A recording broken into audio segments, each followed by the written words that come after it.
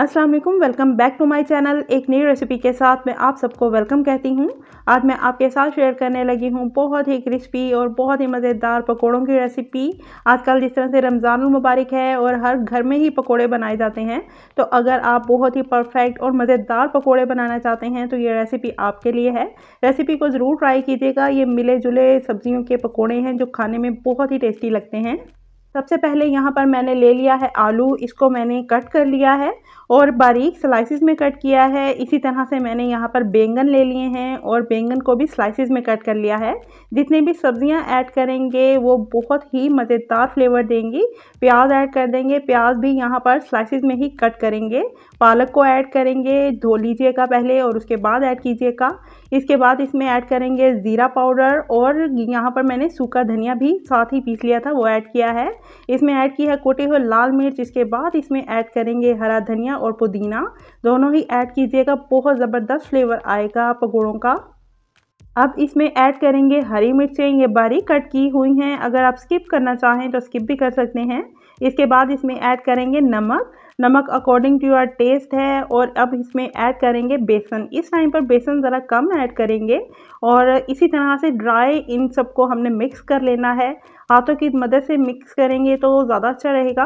अच्छी तरह से मिक्सिंग हो जाती है। बस इस तरह से हमने इसे मिक्स करके थोड़ी देर के लिए रख देना है। तकरीबन आप पाँच से सात मिनट छोड़ दीजिएगा।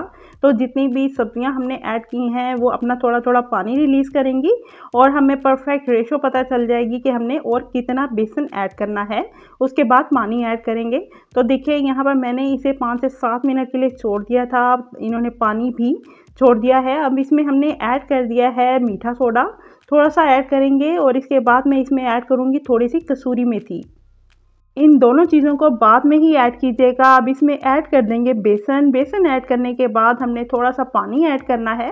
पानी आपने ज़्यादा ऐड नहीं करना थोड़ा थोड़ा पानी ऐड करेंगे, मिक्सिंग कर लेंगे, ताकि हमें फर्दर और बेसन ऐड ना करना पड़े। अगर आप पानी एकदम से ज़्यादा डालेंगे तो हमें और ज़्यादा फिर बेसन डालना पड़ेगा तो बैटर बहुत ज़्यादा हो जाएगा। ये देखिए, अच्छी तरह से इसकी मिक्सिंग कर लेंगे, और ये हमारा परफेक्ट सा बैटर रेडी हो चुका है, ऑयल गर्म करने के लिए रखा हुआ है। अब जो पकौड़े डालने हैं, वो साथ साथ मिला कर डालेंगे इस तरह से, ताकि बहुत अच्छे से लच्छे बन जाएँ, और बहुत ही क्रिस्पी ये पकौड़े बनते हैं, आप एक दफ़ा ज़रूर ट्राई करके देखिएगा। इसमें जो बैंगन ऐड किया है और हमने पालक ऐड की है, वो बहुत ही क्रिस्पी पन देगी तो ज़रूर ऐड कीजिएगा। इसके अलावा जो हमने इसमें पुदीने के पत्ते ऐड किए हैं और मेथी जो सूखी ऐड की है, उससे भी बहुत ज़बरदस्ती खुशबू आएगी। तो आपने पुदीना और सूखी मेथी को ज़रूर ऐड करना है। बहुत ही क्रिस्पी और खुशबूदार ये पकोड़े बनेंगे, एक दफ़ा से ट्राई ज़रूर कीजिएगा। एक तरफ़ से जब अच्छी तरह से फ्राई हो जाएँ तो टर्न कर लीजिएगा। इसी तरह से इसको बनाना है। लच्छेदार बनाइएगा साथ साथ जोड़कर मिलाकर इसको आपने रेडी करना है।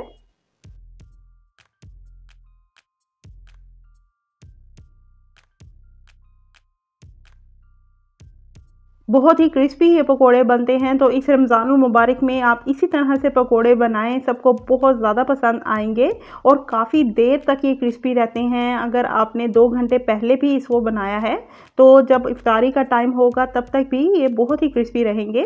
आप देख सकते हैं कि कैसे ये क्रिस्पी लग रहे हैं और बहुत ही परफेक्ट कलर आया है और लच्छेदार पकौड़े बनेंगे। इसको सर्व किस तरह से करना है, ये मैं आगे आपको बताऊँगी कि किस तरह से आपने इसको सर्व करना है। गरम गरम भी आप सर्व कर सकते हैं।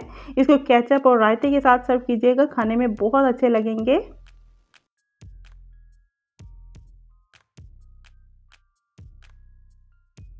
यहाँ पर इसको हमने जब सर्व करना है तो इस तरह से इसके जो लच्छे हैं, वो हमने थोड़े से बड़े बड़े करके तोड़ लेने हैं और इस तरह से सर्व कर देंगे। जिसने जितना पार्ट लेना होगा, वो उतना ले लेगा और खाने वाले को भी बहुत मज़ा आएगा। आप देख सकते हैं कितने क्रिस्पी ये पकौड़े हैं। अगर आपको ये रेसिपी अच्छी लगी है तो काइंडली मेरे चैनल को ज़रूर सब्सक्राइब कीजिएगा बेल आइकन भी ज़रूर प्रेस कर दीजिएगा और वीडियो को लाइक ज़रूर कर दीजिएगा। थैंक्स फॉर वॉचिंग अल्लाह हाफिज़।